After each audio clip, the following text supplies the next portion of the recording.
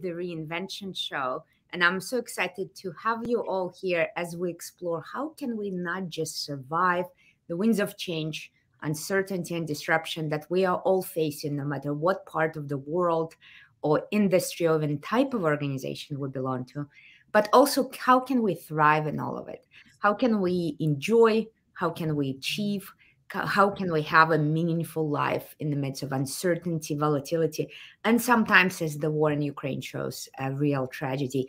I would love to know where you're joining me from. I am still in Columbus, the state of Ohio in the United States, and it's always amazing to see what a diverse, diverse community we have here with the Reinvention Show and the entire global reinvention movement. And I have a special treat for you today as you are typing up and letting me know where are you joining us from? For me, this is an always an opportunity. It's like a feeling of a reunion. Um, I have an amazing guest, a person who is first and foremost a person who reinvented himself more than once, being a professional sportsman in rugby, having a professional career, and then moving into business, becoming a real name in innovation, reinvention, and change a podcaster, an author. I'm very excited to have an opportunity to explore this topic of personal reinvention and the mindset of person, pers- personal and permanent reinvention. But I see in the meantime, Germany is in the house. Florida is here. Hi, Sherry. Happy to have you. John is here from Austin, Texas. Exciting to see, as always, uh, a community coming up, and it's my great, great honor. Canada is in the house. Hi, Sue. Happy to see you. It's my great honor to bring back to the reinvention stage Aidan McCullen. Welcome, welcome, welcome. Great to be with you as always, Nadia. And hello, everybody. Happy, happy, happy. Are you back in Ireland? I'm always mixing up where yeah, no, I, am in Ireland. I'm uh, I've only done a little bit of traveling actually since things opened up, and uh, I did a few workshops overseas, but only in Europe. But uh, yeah, it's and it's good weather here for a change. Good. I'm happy. I'm hoping we can bring you to US sometime soon. But in the meantime, this is a beautiful opportunity to learn from you yet again. And all of you guys know what a fan I am of this book by Aidan Undisruptable, a mindset of permanent reinvention for individuals, organizations, and life. And I want to speak about the mindset of permanent reinvention and why it matters. So, I shared with you in the past that I get a lot of messages, uh, kind of a biggest myth busting that will happen today. I get a lot of messages from our global community that, you know, this all sounds great, but it's not for me. I'm uh, in a nonprofit, and reinvention is most suited for businesses. I am not a leader in an organization. I'm just an employee. So once I become a leader, maybe reinvention will be relevant for me and stuff like that. And for you, as it is for me, I know because I read it and because it's in the subtitle of your book, right? that the mindset of permanent reinvention is crucial for individuals and life as a whole, not just organizations. Tell me why. Why should the mindset of permanent reinvention be a priority on our list? Well, something that you cover a lot, Nadia, and in your books and your research, etc., you know the half-life of organizations, of business models, of even industries is becoming shorter and shorter. But that means so too are the individuals who work there and their the lifespan of their jobs essentially. And and we know this. And i think it, uh, what happens a lot for people in our industry is people maybe think we're creating the problem or scaremongering a little bit when we're talking about that. But we've experienced that. And many people have experienced that that things are getting shorter businesses are getting shorter. And we've seen friends during the pandemic for example lose roles lose jobs businesses shuttered time and time again. So this is happening around us.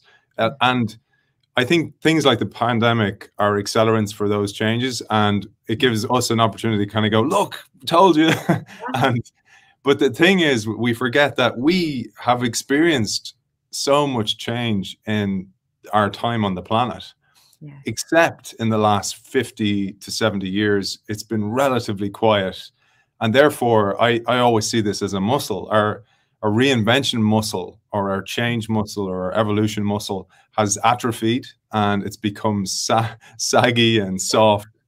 And therefore, many people in my, certainly my generation are a little bit soft when it comes to change. And the the cycle, the mentality, and this is why the the mindset part is so important.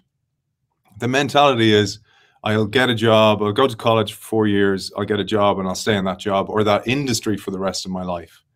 And that becomes a bit rote and repetitive. And I, I certainly don't want people to experience that, but some people are happy with that. And that's fair enough. That is, if that is what you want to do, that is, you are so necessary. People who are worker ants or worker bees within organizations are very necessary. But the problem with that is they're often repetitive tasks. And those repetitive tasks, as we know well, are the ones that are first taken by AI, artificial intelligence, or some type of algorithm. Yes. Yes. So you can see that in the professions all around us. It's no longer some sort of distant future. Accounting. Just a few years ago, most of my company's accounting was done through human beings. We now moved almost everything to software. We just kept the high level financial director in the areas where there is decision making involved. But in terms of routine bookkeeping, in terms of um, allocating the specific expenses to specific types uh, of categories, none of that is anymore done by organizations. Uh, bookkeeping, receipts, and so on, it used to be a whole job uh, right now, the phone scans them and the software automatically uh, recognizes and itemizes it. Whole bunch of jobs just in this one category, bookkeeping and accounting, became unnecessary. And these are people with college degrees, with decades of careers that suddenly discover that they're not exactly anymore necessary and they need to reinvent. And there is a lot of hurt and resistance with that. And I know you had uh, a beautiful, beautiful professional rugby career. And then, um, just as it happens with every career, in the case of professional sports, there's a physical limit. Uh, some are trying to break it here in US. Uh, Tom Brady is big uh, to prove uh, that you can keep going and going and going, but it's generally there is a limit, as it is with any career and you had to reinvent. How did you deal with that need to reinvent? Being in that life and the discipline required uh, to be a successful professional uh, in a sport and then moving into business. How did you handle it yourself? We're, we're talking to you, Tom Brady, by the way. Retire, man. Come on. Come on. It was probably. I think he's married to Gisele. Gisele is probably like Tom. Maybe you should go back playing. Uh, you know, you're a bit. You're around a bit too much at home, buddy. I uh, think uh, anyway. too long, and she's like, "I cannot handle it. Go back." yeah, We're, a little bit of distance is good sometimes, Tom. So, firstly, uh, it, it's it was a magnificent honor uh, that that career. I always saw it as transient, and probably a little bit. You know, I, I used to think, was I too positively paranoid about that. And when I, when I use that term, I use it strategically because when you think of organizations like Intel, for example, or a great one reinvention organization, Fujifilm, they were positively paranoid about the future. They knew digitization was coming for them, Fujifilm, and they actively sought out capability building that would help them through an inevitable transition.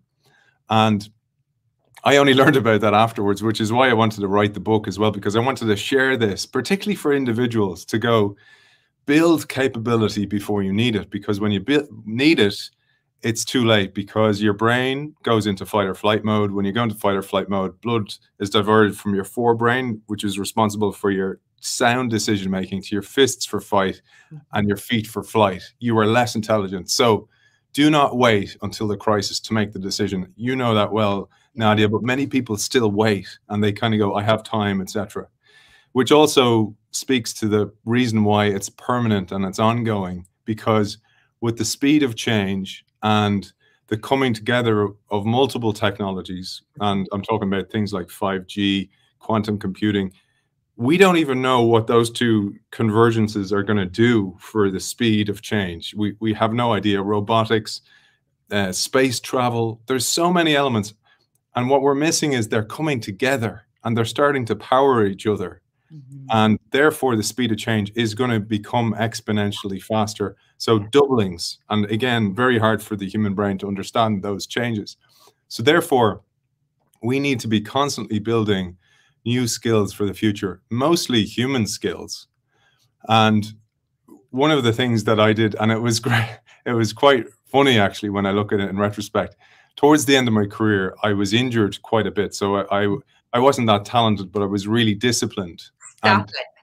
No, Jen, no, people think I'm being humble. Google, no, you should Google Aidan's career and stop it. Okay. I, anyway, I, way, people are defending Tom Brady. There's a whole discussion happening here about Tom. We we touched Tom rocks. the nerve there. Tom Tom Brady is is absolutely magnificent, and what I love about Tom Brady is his discipline, mm-hmm. because discipline is a mindset, and discipline, and, and I genuinely mean that the biggest gift a career in sport gave me was discipline, because discipline is a mindset that can be, I think of it like some type of um, laser beam that can be pointed at anything and go, I'm going to write a book. Because people often ask me, how did you write the book? And I was like, kind of going, uh, what, what, what do you mean by that? And they're like, how, what's the process? And I was like, um, my, and my frame of reference was, it's like going to the gym. I, I used to go every morning. yeah, you go and you're right. yeah. So it's, it's a discipline and, and it's important because that's a mindset and equally important in that is, in mindset is mindset can be applied to anything and there's multiple mindsets required yes. and when you know and when you study like we do the convergence of so many trends in the world we know what's coming and we know it's going to be very very difficult for a large number of people who are lacking the knowledge about this and it's one of the things that drives me from my purpose perspective and my why and why every week I share these magnificent guests like yourself on the show is to educate people because they don't know. And I, I count myself as extremely privileged to know what's coming. Mm-hmm. And I don't mean that in a scary way. I mean, you we have to lean into it. Change sucks in many ways. It's difficult, but we have to lean into it. We've no choice because the winds of change will absolutely knock us over. So when you when you accept that and you make peace with that, Mm-hmm. Then you turn it into almost a game. And I found a beautiful way of learning every week, which is having guests on the show and reading the book, interviewing them on the book, which is a massive privilege. And then the discipline of turning that into some type of loosely connected article that I write every week. That's also to build that muscle of mm-hmm. trying to decipher meaning from the data that that I've experienced. And and all those things coming together give you a lens to go, okay, I need to to turn my life towards a life of service to try and shine a light on this change that's coming down the line. So people don't encounter change in a really negative mm. crisis way. And yeah. and that's ultimately how all this came together. And in retrospect it makes sense. When i was in the moment it's quite difficult. And i talk about this uh, contrast between the highs and lows of a wave and when you're on the top of the wave, enjoy it, but it's transient. There's a trough coming. And when you're in the trough, know that if I do the work, I'm going to be on the top of the wave again, but it's also going to be transient. And again, you realize that. And when you're when you're in moments of joy surfing on top of a wave, you kind of go, I'm grateful for this. Yes. Yeah. If I'm if I'm too comfortable though, I feel the breeze at my heels and I go, I need to build some type of new skill or some type of new mindset or search for new business for my organization, whatever it might be, in order to be able to surf here again. Love that. So let me repeat a few things that I'm hearing from you. One is building capability before you need it. Because the moment crisis comes, there's no time anymore to build the capability and also your own internal resources in terms of the biology that kicks in in the fight or flight response is limiting your capacity your mental capacity your vision is limited your hearing is limited everything is limited. So you have to get it to the level of automation that it kicks in automatically the moment crisis is there. And that's why the discipline is so important. Is really perfecting that skill all the way to automation. That's number one. Number two you need more than one mindset there's this idea that you just need to fix one mindset, which is, for example, the difference between fixed or growth mindset, or discipline as a mindset, or permanent reinvention as a mindset. In reality, um, mindsets is a uh, is a combination of uh, lenses you see the world with, and you need to keep them clean. You need to keep them sharp. Those lenses, those set of beliefs or assumptions around the world world, they need to be updated and maintained. And if they are not updated and maintained, they start getting cracks in it, they start getting blurry, and you are not able to see the world as it's changing dynamically. That's the second most important thing. And uh, the third is this consistency issue of sticking with it and developing habits. Few things that I want to point to those of you who are listening to us that you would like to uh, keep with the habit. Uh, you will see in the comments a link to Aidan's show. Amazing, amazing guests. Some are very difficult to get. For example, the foreword to this book is by one of my heroes from the 90s. The one of the first book I ever read in Russian, uh, in Russian, in English when I came from the Soviet wow. was uh, it was still sold at that high. I could I could buy the book. The Birth of Chaordic Age was still sold at that time. Dee Hock, the founder of Visa, the the card company that really changed the way the world works. Dee Hock was on your show. Um, John Kotter, one of the best of the best of the best classics of change management from Harvard University, was recently on your show. I mean, the lineup of guests. So, guys, you have in the comments a link of where to find that show. The second thing, that blog that you produce is also in the links. Please go read it. It's also beautiful graphics, really provoking I think one of the artistry of Aidan's work is the metaphors, and some of the most memorable metaphors also represented in the artwork. And of course, uh, you can get the book. Some of the people in the comments already saying they got the book. It was just an incredible, incredible angle. So I'm happy to hear that. So let's double click a little bit on this consistency issue. The problem that we're facing today is that we have to move from the idea that change is a project. So it's something we do one time that has beginning and the end, that has a kind of temporary feel. So we change and then we go to the normal life. And that normal life continues for a significant period of time. And then there is a short term moment of change.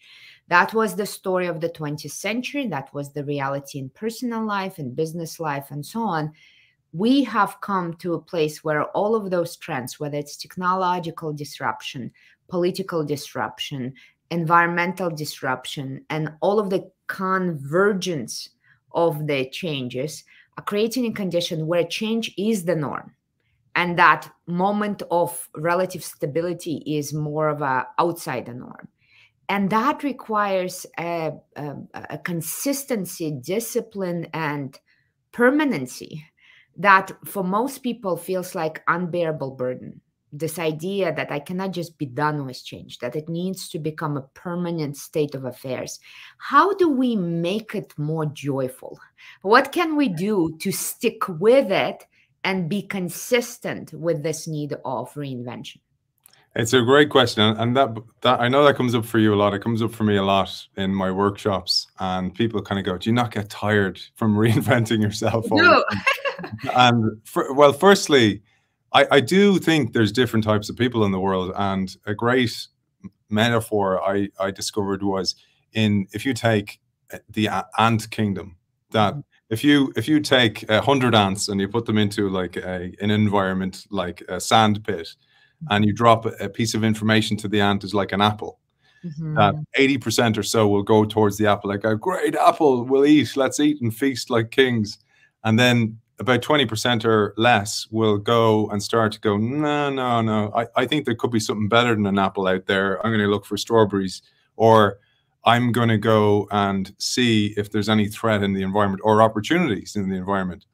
And I think some people are wired that way in society. Obviously, those people who probably first left the caves and the Great Savannah when humans started to, to wander out. And I actually looked at this from a mental perspective, from a neurochemical perspective. And people, some people are more what's called dopaminergic, which is they have more dopamine levels, so they're more open to adventure, etc. We know this from yes, people are more adventurous or take more bold bets, etc. But I do believe that we no longer have a choice. And to go back to what we were talking about earlier on, the word computer computer actually originally is a term used for human beings yes. who did rote repetitive tasks. Mm-hmm. And many jobs, if you break them down into their component tasks, are rote and, compet- and, and repetitive, except the very, very human ones. And we've been deprived of many of those human skills and capacities in the last few years, obviously, because of this COVID world and digital world. And that's only going to proliferate with the speed of change. You, you already see many people don't want to go back to the offices. That's also probably a broken system and an opportunity to reinvent the working world. We won't go there today.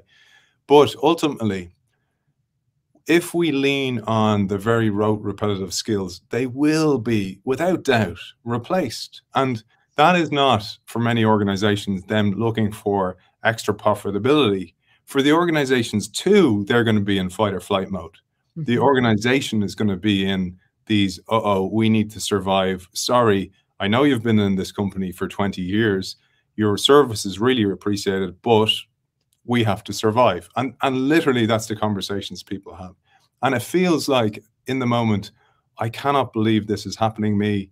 After all I've given you, oh my God, all those late nights and weekends I worked. Oh my, if I if I add up all the time I gave to the organization that I could have given to my own health, to my family, to my future, investing in my future self, I probably wouldn't have given the organization so much. So I, I say to you, don't. And that does not mean don't give your commitment to the organization.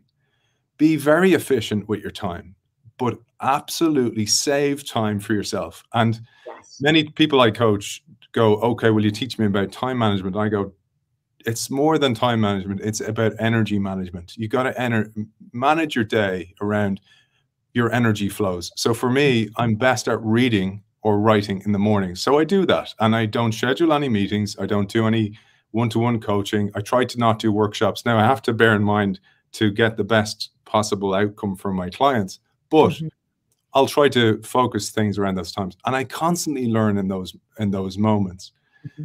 because we need to. And if you think about the time we waste, we waste so much time like Tom Brady, we were talking about him quarterbacking in the morning. What will I do? what which yeah. decision will I email? I clean up my emails, and we send those emails.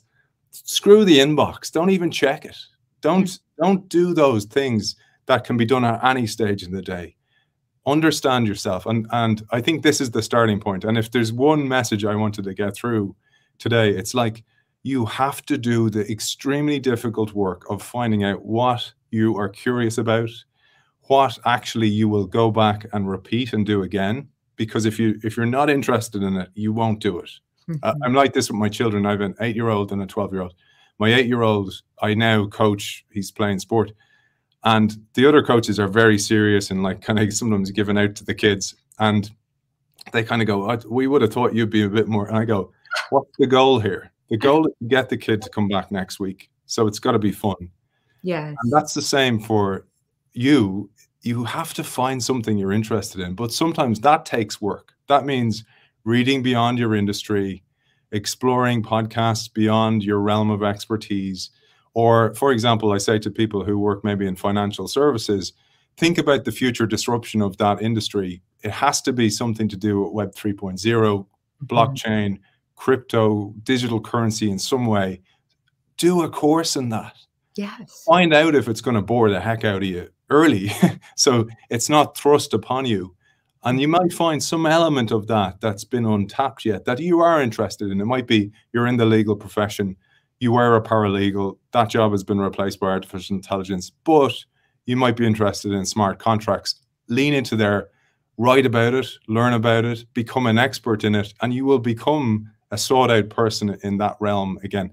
But you got to start the first the first thing is curiosity but you have to do the work and think of yourself from a metaphor perspective as a honeybee trying to find a flower that you like the pollen from You got to go and do that work. And when you find yourself sitting on a certain type of flower on a regular basis, then you're onto something and take note of that. And then rinse and repeat and become, you don't have to be an expert or a blogger or a podcaster in it. But if you do something like that, I certainly did it from my perspective.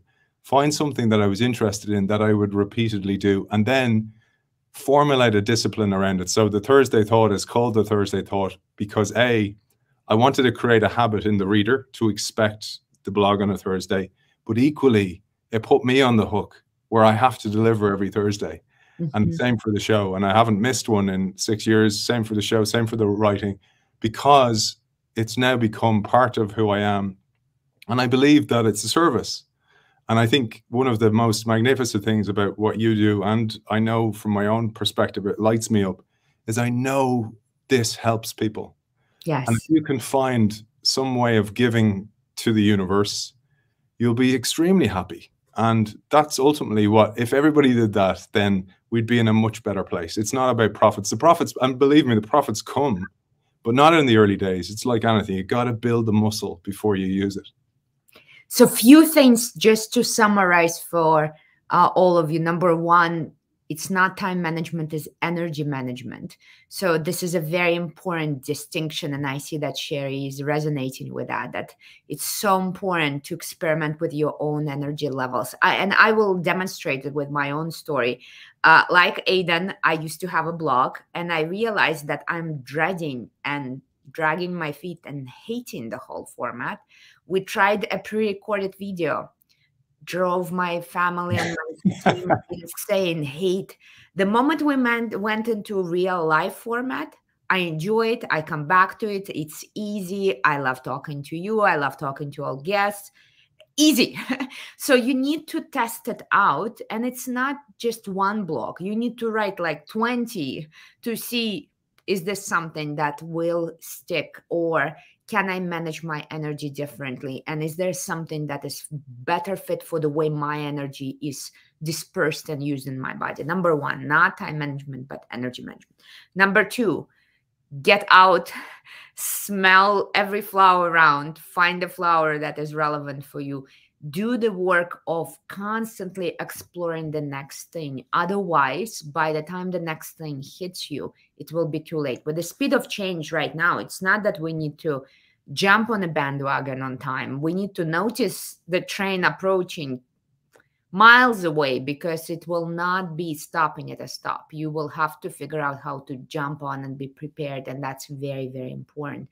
And the routines. Uh, for me, for example, I know that I think better with others. So my routine is having regular meetings with a group of friends where we help each other reinvent and they're put on a calendar and they're there protected and we are serving as a, a, kind of advisory board so that we can help each other reinvent now there is a question for you here from sherry how do you narrow it down if you are interested in a lot of things Sherry, how you doing? Yeah. There many flowers. How do you narrow it down? Which flower is yours? And by the way, we have here, of course, all the way from Europe. Miguel is sending you regards and love the tips as well. Great, thank you guys. So great to have you with us. Firstly, the the the broad spectrum. So you you love the mer- the meadow, Sherry. You like all the flowers in the meadow, and I'm a little bit the same. So when I read books, I I notice sometimes the author will mention another book. I'm like going straight on and buy the other book, and and then I kind of go no, got to stick to the knitting here and make sure I I focus. So one is the actually your cognitive capacity. So you, you only have a limited cognitive capacity. But secondly, what I what I genuinely and I don't mind sharing this. So what will a give me the dopamine hit that makes me happy? So I actually get addicted to doing what I do. Mm -hmm. Um, that's important.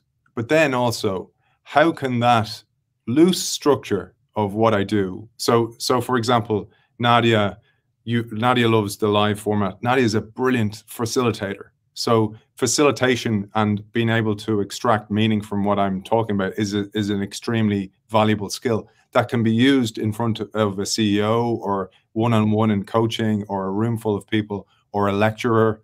So to be able to see how transferable is that skill? For me, it's likewise with the innovation show. Listening to an author or reading their information, being able to distill it down is the same as writing. So no mm-hmm. matter how original we think we are, we're constantly absorbing information and distilling it down. We think when we write it, it's our original thoughts, but it's a collection of many, many different people. So for me, what does all these things mean? It means at this very, very early days of my reinvention that I'm currently enjoying the top of the wave of, it was lecturing. And lecturing, the lectures themselves were a collection of my blogs from the past mm -hmm. brought together into compelling slides that I was able to tell the story from. Equally, that information gathers together and then I distill it to become a story that becomes a book. Mm -hmm. Equally, then I collect mini stories from that book and they become these isolated keynote speeches that I give all over the world. They're all, if you look at them all on a on a, a blackboard or a whiteboard, they may look like separate things, but to me, they're all the same thing. They're a distillation of knowledge that I'm really interested in. Because I'm interested in it, I'll, I'll retain that knowledge and then I'm able to articulate it back to an audience, whether that's a mm-hmm. CEO, whether that's a boardroom, whether that's a lecture student in, in, in a lecture hall or a keynote or talking here today.